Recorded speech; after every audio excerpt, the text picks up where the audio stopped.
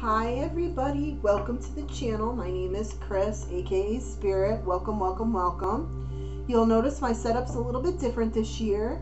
I decided to do the burning of the sage and singing of the Tibetan bowl prior to recording and also laying out the cards first so that you guys can get the most benefit of the video. So here we go. So thank you first and foremost for coming to the channel. If you're not subscribed, please consider doing so. I also want to remind you if you are subscribed and have been with me for a while, you might want to go check and make sure the notification bell is checked off so that you're alerted when I put up new content or go live. A lot of people have been complaining they haven't known that I put up new videos because it's been a while and I just alerted them I found this out with the changes that went on while I was on a break. So just FYI.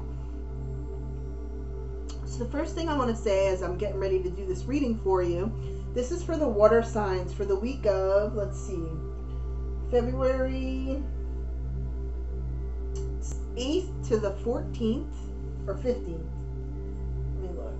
Give me one second. I want to say it's the 14th. Yes, the 8th to the 14th. Nope, the 8th to the 14th. Yes. So first off, uh, as I was shuffling the deck, I was getting a lot of throat chakra issues going on. So whomever I'm speaking to in the water signs, make sure that you are speaking your truth and speaking up and standing up for yourself. That's what they're telling me, okay? So this is for water signs, which is Cancer, Pisces, and Scorpio. I know this by heart because I'm a Cancer.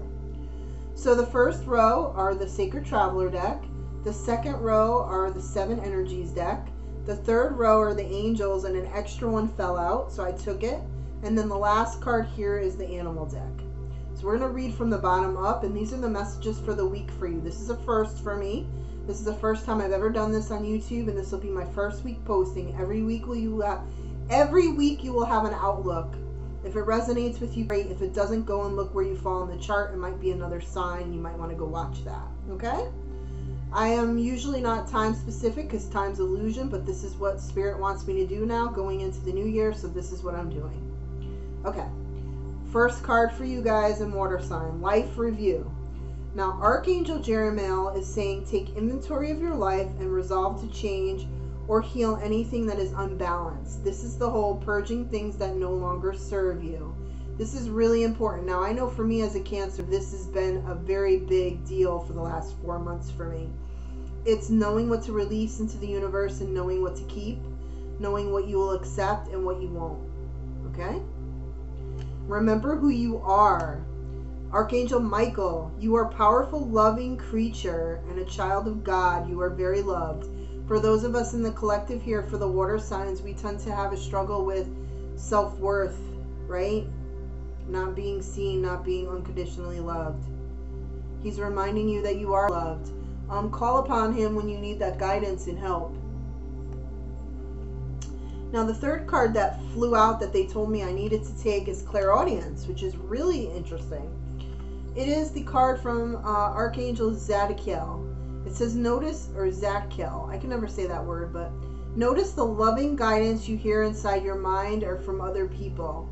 This is the card that comes out symbol- symbolizing um, when you have your tribe family around you. This is what I call it. Or your angels around you in life, right? Angels that are living, that walk around. People who are very focused on positivity and pushing forward who are actually helping you to see your worth. That's what they're telling me. Okay, so now the Seven Energies card are one of the only decks I ever read from the uh, book. But before I read from the book, I'm going to tell you what I get from the symbolism of the deck, and then we'll read the definition. Um, I do that a lot. So, like this quieting the mind has never come out in a reading yet because this deck is new. But the symbolism of this card for you is about meditation and commitment to yourself and your self worth and your healing and knowing the power of you. That's what this card, that's what they're telling me to tell you. And it's really funny. So here we go again with a lotus. So if you go to my other readings that I uploaded for the week, I keep talking about this lotus crystal um, candle holder that was gifted to me many, many years ago. How spirit was guiding me and pushing me to put it out on the table today. And in the last three readings, there was a card with a really huge lotus on it, just the lotus. And this is a different card and it has the same, pretty much the same lotus. So I just wanted to signify that. So I'm about to read this to you. So, water signs. Life is chaotic, busy, loud, frantic, and overwhelming. Some days all the noise is like the roar of thunder echoing around you, and it feels like you're being pummeled by a rainstorm. So, this is for the coming week and for the remainder of the month, they're telling me. Isn't this why we take vacations to get away to somewhere peaceful? In spite of the surrounding din of the world, today you need to slow down and find a bit of peace. So go ahead and take a deep breath right now and make a commitment to be still, if only for five minutes. Count your breaths and be mindful of every one of them. Know that you have all the time in the world to do the things that you need doing. Everything is perfect as it is. Our core beliefs about the world originate in our thoughts and feelings, which then become our perceptions. If our thoughts are all over the place, that is how we will experience the outer world. But what if your outer world didn't matter at all? What if at our center there were a place that is always calm, where the mind doesn't have a million things to say, where problems and challenges aren't challenges aren't nearly as important as we think they are. Today requires you, and I'm saying this week requires you, to take an internal break and go to the silent space of to regroup. Meditate on the stillness within, choose a peaceful mind and nothing else. You will be amazed at how easily everything falls into place once you do. So, if you don't know how to meditate or you don't meditate, praying will do. If not, you can go out into the outside and put your feet in the ground and just sit there and let your brain be silent and just take in all the beauty of life. It's what you feel comfortable with. But this is super important right now because we tend to get really stuck in our own conditioning and we don't nurture the soul. Okay? We have a million things going this week and we won't slow down. Slow down. That's what they're saying. Now, the Open to Discovery card is a card that I have seen prior to this reading. What I love about this card is that it's about it's about the universe, it's about information, it's about um everyday things that are around us. Like one of the things I told someone in a private reading the other day was um, a lot of people can't understand why we talk a lot about numbers and animals when we do universal signs. But see, Mother Earth, Gaia, speaks not English, not language, because language is linear, it's a human 3D condition.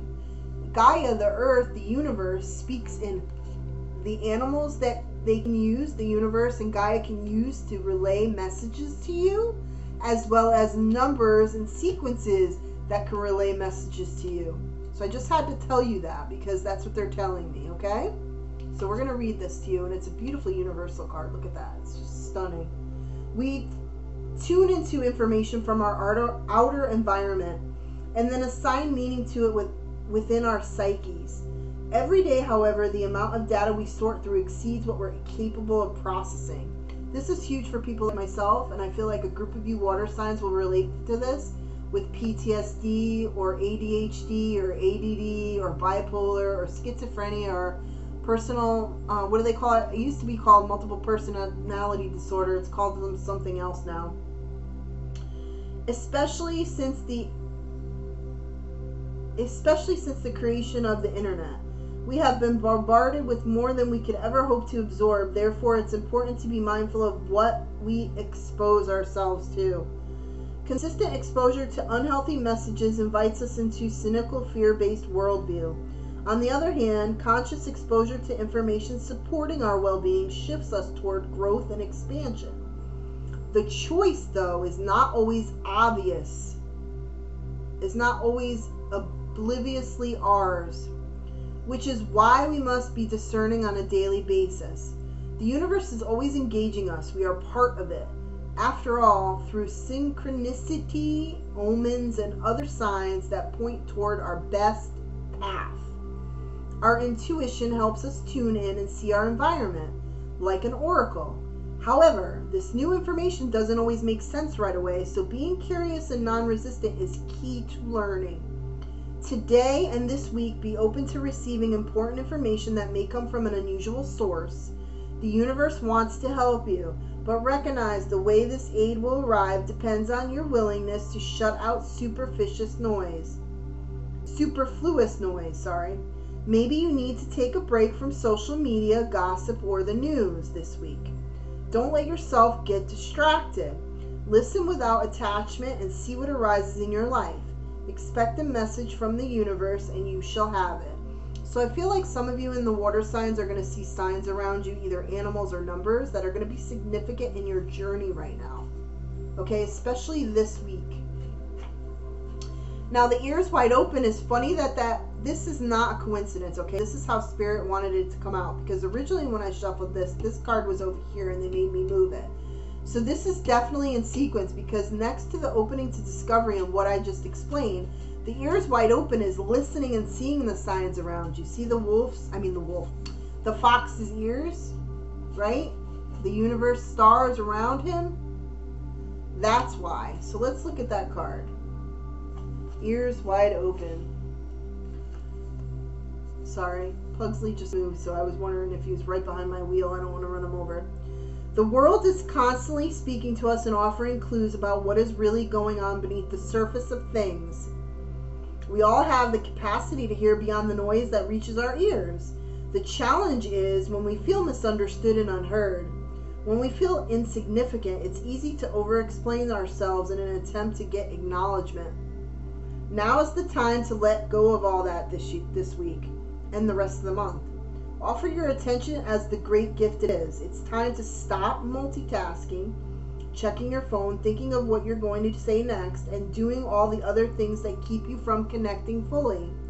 Whenever you are in the state of chaos and distraction, paying attention to only some of what is being said, we lose the ability to pick up on everything, including that which is not being said.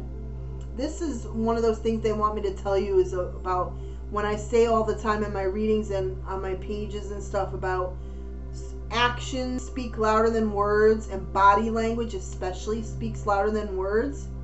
I don't know why they're telling me to tell you that for this week, but they are. Deep listening is the way in which we immerse ourselves in the truth of the world. In this way, with ears wide open, we always op- also open our hearts and minds to understand more than what is conveyed through words alone.